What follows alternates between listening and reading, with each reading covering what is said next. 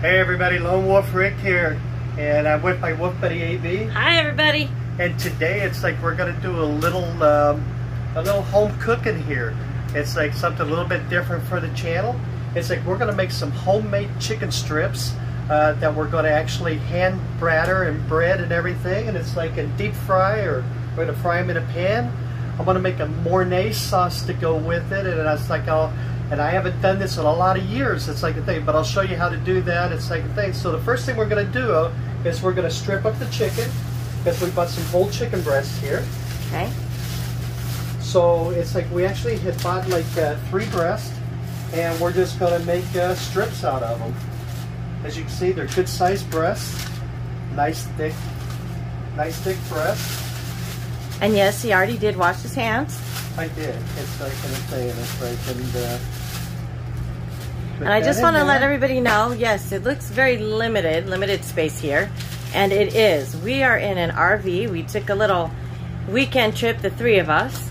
And um, we're using uh, limited spices with what we have. And these are some of the ones that he's going to be using. Yeah, I got the buttermilk. It's like for the... Real uh, buttermilk. For the flour I got some eggs. We got some flour and the milk for the Mornay sauce. And uh, it's like, hey, so first thing we're going to do is all we're going to do is just uh, strip out. It's just uh, make those into strips. And we, we thought we'd share this with everybody since we are trying to start doing some travel vlogs. And we thought, hey, we're taking a little weekend trip out in this RV here and having a good time and thought we'd share some of these recipes with you. They're very inexpensive recipes. You almost can use what you have uh, besides, you know, the flour and the buttermilk.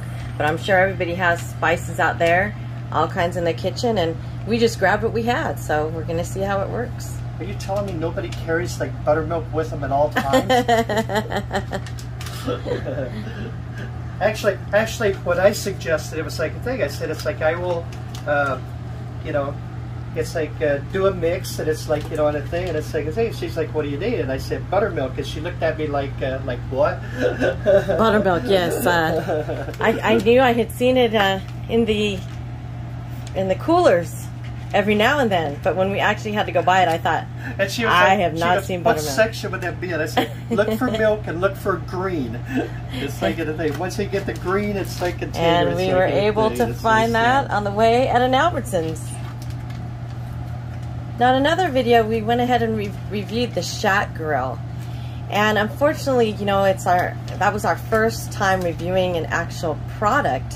It was a brand new product that we uh, were able to find on sale, and we brought it and thought it'd be nice and quick and easy to bring that along and make some steaks. And what we didn't do in that video, if you were able to watch it, is we didn't come back and tell you how it all worked. So we showed you the steak. We didn't actually taste the steak, but honestly speaking, all the steaks were all different temperatures. One of us likes medium, one of us likes well done, and one of us likes very well done. They all came out perfect, They were fantastic. juicy. Um, they took, uh, for the very well done, probably took about no more than 12 minutes. And uh, for Lone Wulf Rick, he likes his medium. It was about eight minutes. About eight minutes, yeah. Very easy to use, no assembly required, and very easy to clean. So we just want to let you know if you're ever in your RV and you're on the road, uh, or you want something quick to make, it's a definitely a product to think about. All right, so now what I'm going to do is I'm going to make the batter. It's like a thing to uh, uh, that we're going to end up breading. It's like everything is. So I have like two eggs here. Or, or I'm from Oklahoma, so I have two eggs. I'm glad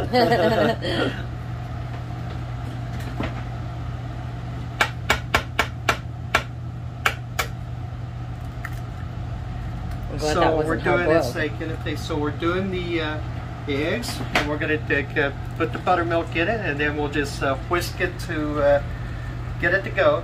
And it's like, and this is what makes the. I know most people cook. It's like, but this is what makes the, the flour stick to the uh, to the chicken. And sadly, we do not have uh, a whisker.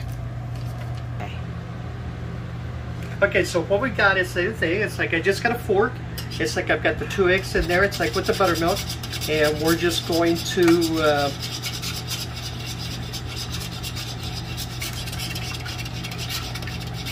uh, like I said, it's like you know we're in an RV, so we're kind of uh, you know no whisk or anything. But it's like, but the buttermilk batter, it's like it's like what makes the uh, what's going to make the flour uh, stick to the uh, to the chicken. Buttermilk will also give it a different flavor. Is that correct? The buttermilk gives it a fantastic flavor. It's like uh, if you ever go back south. I'm from Oklahoma, and it's like everybody. It's like you know a buttermilk batter. It's like a fried chicken. It's like is the uh, it's very good. So as you can see, it's like the thing. It's like you know we got the egg. It's like that is like thickened it up.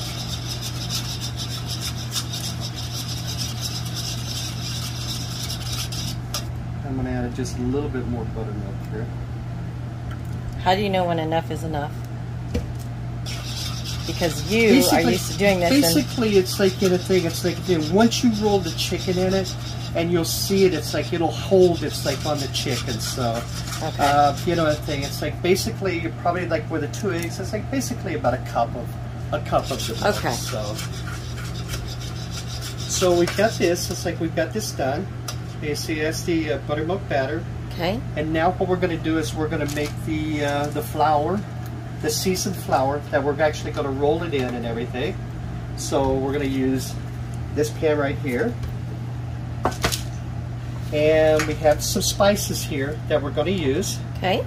It's like um, I've never used this one before, but it's like uh, but we actually used it on the corn the other day. Yes, It's it like is with for corn, as you can see. and it was Um, it was very good. But we thought so- we'll try it.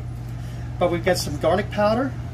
We've just got some like uh, seasoning, uh, seasoning salt. It doesn't have salt in it, but it has like all the other seasonings in it. We're and trying to watch our salt. black pepper. So we're going to uh, put the flour.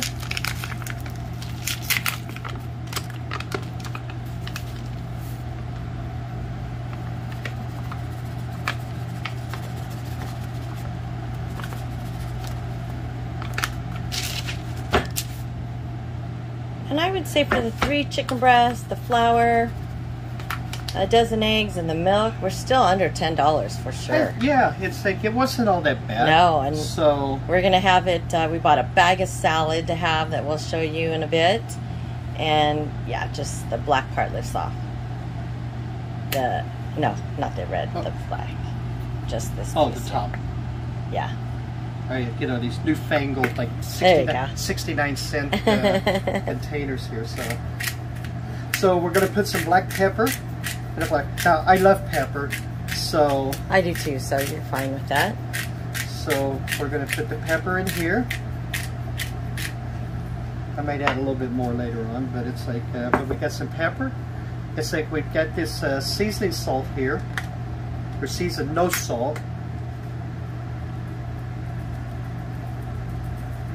And basically, you know, realistically, you're kind of doing it to taste, your own taste.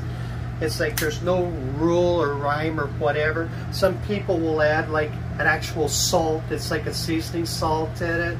Uh, some people might add, uh, you know, paprika for the color. It's just, um, you know, what your basic thing is. It's like, you know, we all love garlic. We so love garlic like, here. Uh, uh, so we have the garlic powder we're putting in. So going back to saying this was uh, all under ten dollars. The the chicken breasts we were lucky to find them at under two dollars for the for a pound. And then we had this seasoning blend here. A bag of salad and uh, a bag of frozen vegetables. It does have cheese sauce on it though, of course. We got that in, and basically you just use your hands. It's like kind of mix it around a little bit. Because trust me, it's like, you know, once we start doing the chicken, it's like into here and the thing, my fingers are going to look like the thing from the Fantastic Four. It's like, you know, so. So as long as And then if you want, it's like the thing, it's like, uh, uh, I've worked in kitchens and restaurants before. It's like, you know, the thing, it's like basically once you get it on, you can actually, it's like do the little taste. It's like, you know, the thing, it's like, because you're going to wash your hands with the thing, but the taste is just like, you just kind of taste the flour and you'll taste you it's like, you know, taste what the uh, seasonings actually Did you taste it? flour. I can taste it, yeah. Oh, did you want one of those just in case? Yeah. I don't mind. He's not sick, but you know, we're just gonna do that because he doesn't. Unfortunately, like we said, we're working with a very small, uh, limited space here. Our sink is actually right here. So we have the uh, the sandy whites here, so Yeah. It's taking the thing. So that's gonna that's gonna keep us in line here. Then basically what we're gonna do is the same thing. I still have to start heating the oil. Okay. It's like in a thing, but what we're gonna do is the same thing. It's like uh, uh, I'm gonna heat the oil, so we're gonna get go away for a minute. But basically, it's like what we're gonna do is like we take the chicken breast. It's like you know we put it into the uh, the mix, and you can see it holds. It's like right on the chicken. It's like thing. You take it in the flour. It's like you know just about three or four times around, and that's it. And then we're gonna deep fry it. Okay. So It's like a thing. So we'll go ahead and heat up the oil, everybody, and we'll be right back. Absolutely.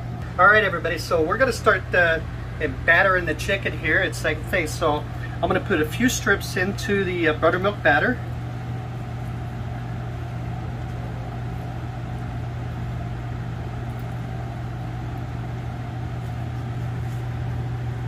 Same thing, and then it's like uh, what we're going to do is just kind of roll it around. It's like you know, and the thing. So it's like you know, the buttermilk and egg. It's, it sticks to the chicken strips.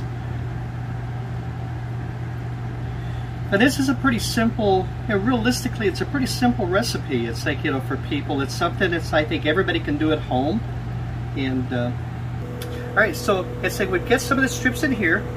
It's like we're going to transfer it over, it's like to the flour. And that I'm sorry, that sound you hear in the background, it's just it's the fan for our our RV stove there. That's the buzzing sound. So it's like uh, we've got some of this in here. And now what we're going to do, it's like a thing, it's like uh, we're going to make sure it's like in a thing that we get all of these, uh, you know, the flour mix, it's like that we did. It's like uh, all on the chicken strips. It looks good already, doesn't it? Mm. and then we're going to transfer it over here to the uh, to the oil that we've already got started to heat up here. The oil is very hot. And we're just going to put those in there.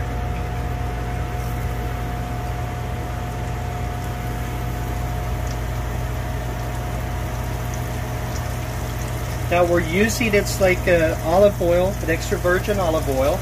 We know we're supposed to probably use some other Crisco. Like lard. I know Rick, Rick wanted to use uh, Crisco or something, but unfortunately, you know, we are traveling, so we only had olive oil as we were trying to be healthy, not knowing. Because I want to get everybody in my I'm from Oklahoma, so we use lard. so anyway, it's like a thing. That's uh, that's all of the uh, the ones that we had breaded. That's out of here. Now what we're going to do is like a thing. We're going to keep an eye on it. It's like as soon as it starts to brown a little bit, it's like a thing. It's like you know we'll we'll flip the chicken around a little bit. But the one thing it's like I wanted people to know because always people are asking. It's like especially on kind of thinner pieces of chicken. Like how do you know it's done? realistically, it's like the thing. It's like when this chicken, it's like, and you can see it's like like cooking and everything, and it's like, and, it, and uh, once it gets turned, it's like thing. It'll start to float to the top. It's like the chicken will, I ask that question, everybody. and it's like, in, excuse me, I'm sorry. And then once it's like you get through this, it's like a thing before it's like a thing. It's like it kind of's not bubbling as much. It's like a thing. It's done. It's ready to go. So. So it's like while that's cooking, it's like we're gonna throw some more in here.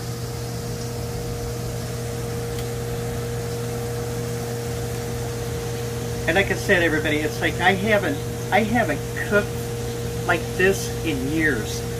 Um, How many? wow, 20 maybe. 20 like years. I'm I'm a widower, so it's like thing I used to do. It's like all the cooking at home, and it's like and I'd make stuff like this. It's like you know, and then basics. It's like you know, and it's like or a lot of sauces and stuff. It's like you know, things. So uh, I did a lot of that stuff, Didn't and you used to work at a restaurant? and I've worked in restaurants before, and uh, so this is kind of basic. Uh, I mean, Americana Real. it's like you know just uh, Real regular chicken strips. Now you can uh, realistically change this. If you want to buy cube steak, it's like the thing, and take the cube steak and slice it. Ooh, it's like the same thing, and make cube steak fingers. Realistically, it's like when you go into a restaurant, it's like a truck stop or whatever, and thing, and you see chicken or like a, like finger steaks. That's basically what it is. Oh. It's like a thing. It's either either like a top sirloin. A restaurant I worked in, we actually use cube steak, and it's like the, the same type of sauce. It's like the same buttermilk batter with the cube steak. It's like a thing. It is very good. And one tip, it's like a thing. If you're using the cube steak, it's like a thing to make it's like the uh, the actual uh, uh, chicken or like steak fingers. The same thing dip them in a cocktail sauce, a shrimp cocktail sauce. Hmm. I'm telling you, it is it is unbelievable. So I'm gonna leave these here right now. It's same thing. So we get this, and like a thing, and we'll cook this off because that's the only pan we got. Bring over here and And it's like, and then once, as you can see, it's, that's why I say I'll look like the thing from the Fantastic Four. It's like, you know, but it's like anything. It's like, and then once we get the chicken done, it's like I'm gonna do a Mornay sauce also. So like a thing. So everybody's got to stay tuned. All right, everybody. So it's like this is uh, what we're looking at. It's like as far as the uh, these chicken strips right here, and uh, these are just about done. they and smell uh, really good. it's like we're using an olive oil, so it's like. Um, Sorry. the other thing, so it comes up a little bit uh, more of a lighter golden brown. It's like you know that maybe a lot of people are used to. It's like if they you know where you get that actual you know uh, vegetable oil. It's like you know look on the thing, but you can see it's like a thing. It's like it's still bubbling around. So it's got a, probably about a couple more minutes like that, and then it's like uh, we'll take these out. It's like we're going to uh, batter up some more, and uh, we'll cook those. And then after it's like the third batch, it's like the thing of the strips. It's like we got in the thing. I will uh, do a white sauce. It'll be a basic white sauce. It's like a thing, and you can use it for tons of things. And it's like, and once I show you how to make that white sauce, um, the same thing. Then we'll talk about the uses for it and everything. So We'll come uh, back after the chicken's cooked. yeah, we'll be back in All a right. couple of minutes. So. All right, everybody. It's like we got the first batch out here. It's like the thing. Give you a little close-up look. Don't they look good? Huh? It's like we've got the next batch. It's like the thing that we floured up, and it's like we're going to put them in the oil here.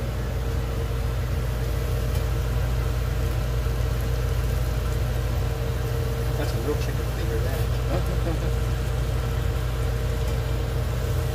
Yeah, maybe in a future video, it's like we'll take a look. It's like a thing, and we'll actually buy the cube steak, and it's like, and then do actual uh, st- uh, steak fingers. That sounds delicious. Just remember, everybody, the cocktail sauce. That's the key. It's like a thing. Use that. It's like for the dipping and For the chicken or for the all beef? for the beef. I'm telling Cocktail you. sauce. I'm telling you, it's amazing. It's like a thing. You know, once you get it like that, and you just dip it in like a shrimp cocktail sauce. Okay, shrimp cocktail sauce for cube steak. So we've got the next batch going, everybody. It's like we're going to have one more batch to go. And once we get the third batch in, it's like the thing. It's like I'm going to make a roux and then make a white sauce. And it's like, and I'll show you how to do that. All right. And there's the first few, and we will be right back. All right, everybody. It's like we're back. It's like thing. Our chicken strips are done. This is what, how they turned out. And they did come out crispy. Oh, I don't know if you can hear it as he's right? grabbing it. It's like a thing. I mean, they're Uh-huh. and it's like we tasted them.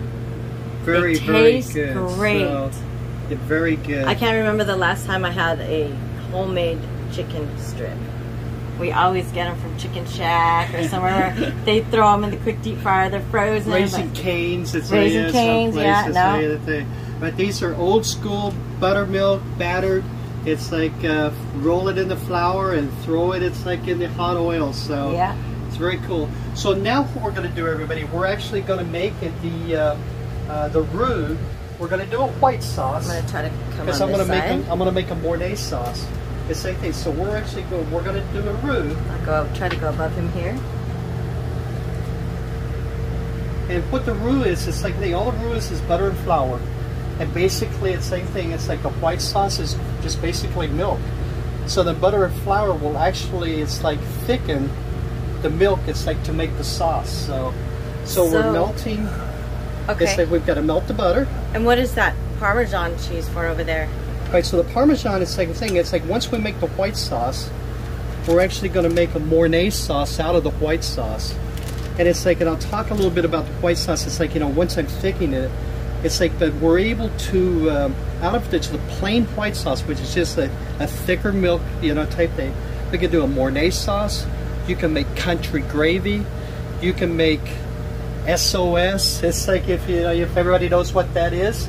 Uh, you could do like chipped beef. It's like in it. I mean, whatever you want to make. It's like out just a basic white sauce. It's like is uh, is there, and it's like and people tend to kind of forget about that stuff. You know, it's like and, and uh, but it's such it's such just a basic sauce, and it's like a thing. And we're gonna make this Mornay sauce. It's like a thing. So, So- I've never seen this made before. So I know that at this time he warmed up the milk there.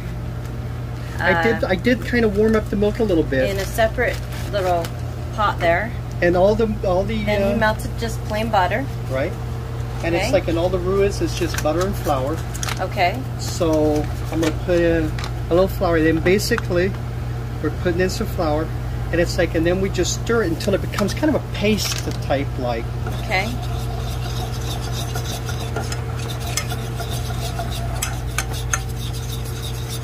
And it's like you kind of want to get all the lumps out you know it's like as much as you can it's like i'm using a fork which is fine it's like you know the thing it's like if you had like a wire whisk um, it'll work a little bit better so we're going to add a little more flour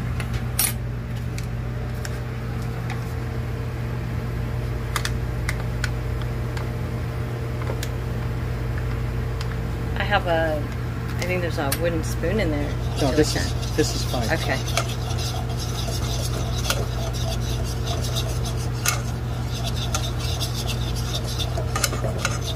Okay so we're going to add a little more a little more flour to it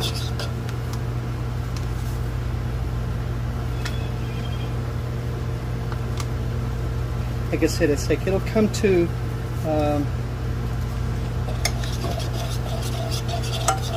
you want it to be where it's like it's pretty thick. It's like so it'll be more like a paste instead of runny. So we'll just keep adding flour until it's like we get to that point.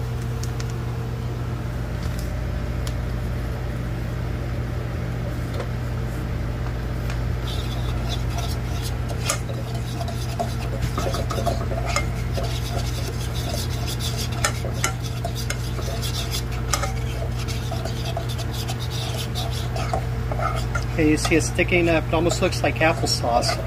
Basically, it's the same thing, but we're going to add more to it. It's the same thing where it's a, it kind of hardens a little bit. So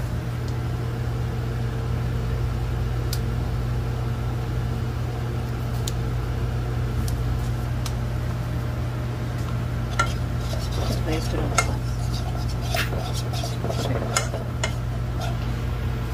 So it's like you can see it. It's like a thing where it's like it's hardened up to this paste type thing. So it's like I'm going to warm the milk up a little bit more, and it's like and once the milk gets warm, it's like we'll be back and put this in. So Okay. all right, everybody. So it's like we're warming up the milk. As you see, the milk's boiling. And he just used uh, vitamin D milk, regular It's milk. just regular milk.